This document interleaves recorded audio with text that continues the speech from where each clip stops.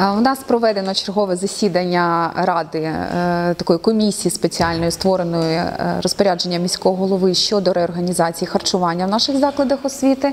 Наразі прийнято рішення розглянути меню е, орієнтовне е, сніданків. Ці сніданки, як ми вже з'ясували, будуть додатковим харчуванням дітей між тим е, тою їжею, яку вони отримують вдома, і отриманим е, в закладі повноцінним обідом. Е, Наразі в нас прийде апробація цього меню. Ми дуже сподіваємося, що воно сподобається нашим дітям. В переважній більшості воно вміщує в себе запіканки, е, напої різноманітні, які є корисними за визначенням наших лікарів та дієтологів е, для нашого е, підростаючого покоління. Після того, як пройде апробація, і вона, сподіваюсь, буде успішною, дане меню буде постійним для другого сніданку, який діти отримують в школі. Що стосується обіду, то сьогодні ми також розглянули меню комплексних обідів, які будуть отримувати за кошти міського бюджету діти пільгових категорій.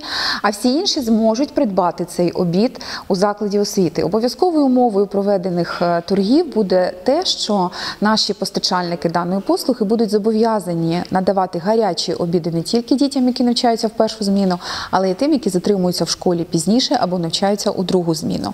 Вартість е, обіду приблизно орієнтовна сьогодні визначена у 22 гривні. Саме з цією пропозицією ми вийдемо на сесію міської ради. І е, якщо депутати нас підтримують, то е, з 1 е, березня сподіваємося, що ми вже запровадимо таке меню в наших закладах. Ми сьогодні зазначили окремо, що 40 шкіл вже отримали відремонтовані харчоблоки, і там може буде запроваджено систему вільного вибору. Саме в ці школи буде розповсюджено досвід е, європейського ліцею, школи номер 125, і е, батьки також зможуть придбати е, гарячі обіди за цією системою для своєї дитини. Ну і крім того, окремо постає питання контролю за якістю харчування, яке постійно підіймають наші батьки та вчителі. Ми окремо по це про це поговоримо в е, засобах масової масової інформації, але хочу зазначити, що в кожній школі без виключення має працювати рада харчування, до складу якої входять, крім е, адміністрації школи та медичного працівника, ще й батьки. І якщо ви бажаєте е, взяти участь в цій роботі, яка є беззаперечно дуже корисною для кожної дитини, ви маєте пройти медичний огляд, заявити про себе адміністрації школи, і ви будете мати можливість зайти до харчоблоку, побачити, які саме продукти, з якими документами, якої якості потрапили до школи.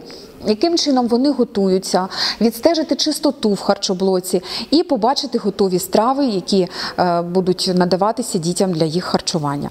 Крім того, е, у кожній школі зараз пройдуть батьківські збори, де це буде роз'яснено окремо для батьків.